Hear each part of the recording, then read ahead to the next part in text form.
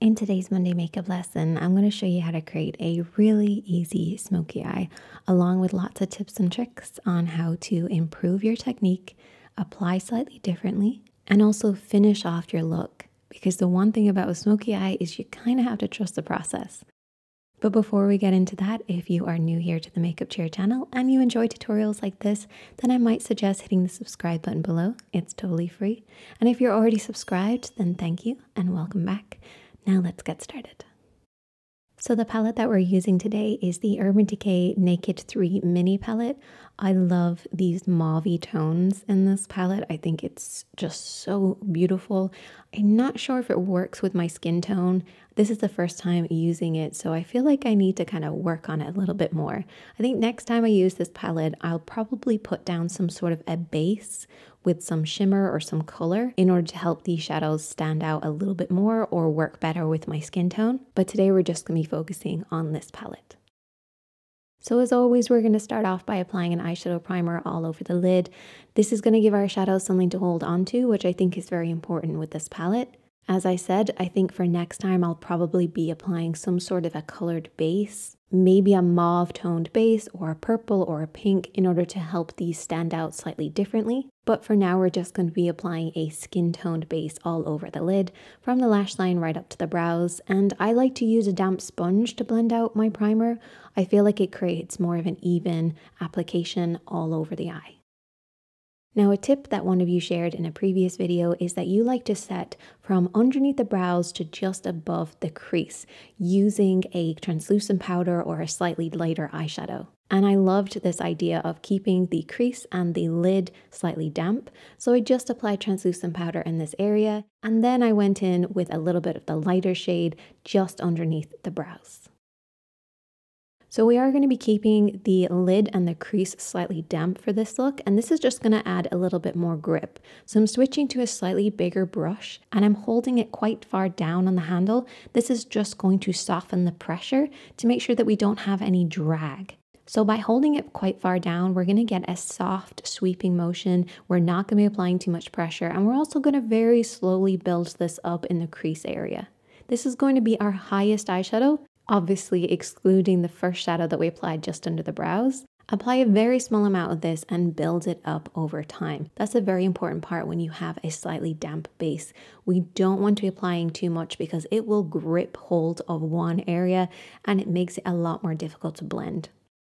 Next, I'm applying the darker shade using this tiny Ickle baby brush. This is the Blank Canvas Cosmetics E10. I love this brush for so many different reasons, but it's great for applying this slightly darker shade on an area that's slightly damp. And because this is a daytime smoky eye, I'm not going to be using a flat brush and pressing this on.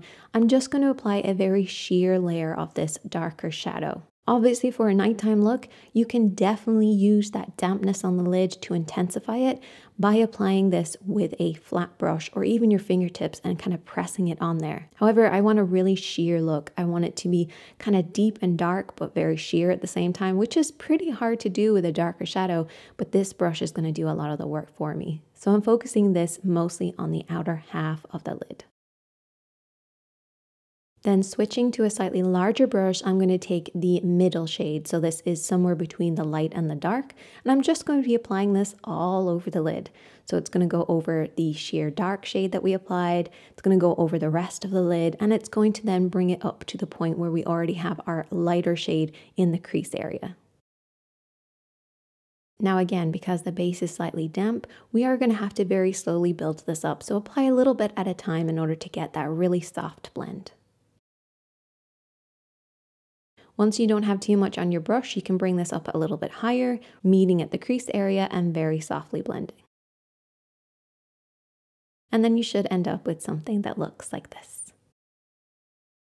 Now, if your blending hasn't gone to plan, or maybe you just want to add a little extra something to this look, apply a little bit of shimmer. Shimmer covers any mistakes. So I'm going to focus this on the center of my lid using my fingertips. And if you're not great at blending, apply shimmer. I promise you, it kind of camouflages, it bounces light. It just makes everything look a lot more blurry and blended. I also applied the lightest shimmer just on the inner corner only because it was a beautiful shade and I just really wanted to use it. And you should end up with something that looks like this. But now we have to add our finishing steps, which are really important with a smoky eye.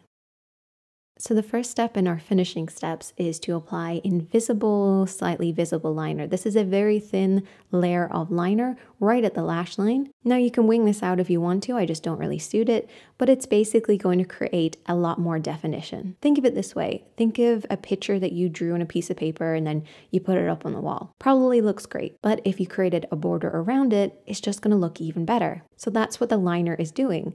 And then your mascara and your false lashes, they're the frame around it. So between your mascara, lashes, and liner, it's just gonna create much more of a finished, more polished look and help your beautiful painting that you did or beautiful drawing that you did to stand out so much more. Another thing that will really help with a smoky eye is to make sure that the area around the smoky eye is nice and clean. So applying a little bit of concealer in a slight angle, working upwards, and this is going to lift the eye shape, but also clean up all around the eye. This will add more contrast, and then the smoky eye will stand out so much more. Now, before I apply mascara on my lower lashes, I had a question that came in from last week. It says, Hi Sinead, great tips as always. I have a question for you. My mascara runs on my lower lash line even if I apply it only on the upper. I usually prime my lids, set with powder, powder underneath the lower lash line, and I use a tubing mascara. But after a few hours, I still need to clean up mascara smudges. Any tips? Please take care of yourself and thank you. Well, thank you so much for that. That is so sweet. And yes, I have some tips. So once I apply mascara on the lower lashes, I then make sure that it is fully dry. And then what I'm going to do is I'm going to take a clear waterproof mascara and make sure there's not too much on the brush. And one thing I like to do is I like to do a rolling motion underneath. What this is going to do is to coat the underneath part, which is usually the main culprit for me. Also, if it ends up touching my skin, it's no big deal because it's a clear mascara. And then do the upper lashes as well. And this will just seal everything in place for me so we're not going to have as much smudging. And any smudging that occurs is going to be a lot less or a slightly lighter color as well. So I hope that helps. And if you give it a try, let me know. Now for underneath the eyes, I'm going to take a mixture of everything that we've already applied and use that little baby brush and just sweep this underneath. And then for a little extra something something, I just saw this liner and just really wanted to apply it. It's an aubergine liner. I know it's a little weird, but I kind of like it. I feel like it's a very fall appropriate liner. And there you go. That is the finished look. I really hope that you guys enjoyed this one. If you did, please give it a thumbs up. And as always, I am here to help. So if you have any questions, definitely let me know. They might end up featuring in a video. But if you'd rather they didn't feature, you can let me know and I can get back to you directly as well. But I am here to help. So just ask me anything. And I also just want to say a big thank you for all the support from the previous video. I mentioned how I had had a bad week and reading your comments just kept me going. And a lot of you were also supporting each other, which was so wonderful to see. I really want to make sure that I keep my channel a really positive place because living with a chronic illness is hard enough. And if I can create like a really safe space to let people know that it's okay to have bad days and it's okay to have tough days. I spent last Wednesday crying so much, but it's okay to have those days. I was really unwell. I felt really sorry for myself, but then I picked myself back up and I managed to get through. And it was really hard, but your support really helps me. So thank you so much. I only hope that I can extend that to you guys and let you know that I'm right there with you when you're having a bad day. I know how difficult it is and how lonely you can feel at those times, but you're not alone. I'm right there with you and I'm sending you lots of love. Be kind to yourself. You're doing the best you can. And I'll see you guys in a video really soon. Stay well.